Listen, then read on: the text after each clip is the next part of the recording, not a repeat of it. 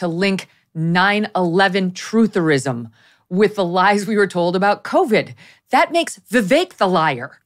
That actually was pretty funny. there is a faction of the Republican Party right now that's gotten very conspiratorial. There is.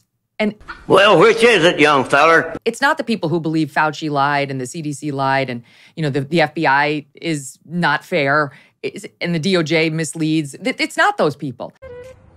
What did that just mean? I don't think Vivek really thinks 9 11 was an inside job or that we had federal agents on the planes. What is he saying? What the, the guy's becoming embarrassed. This was like entrapment that the federal agents somehow entrapped the poor terrorists into actually flying the, the planes into the towers, that we actually were behind it the whole time. We were working. What?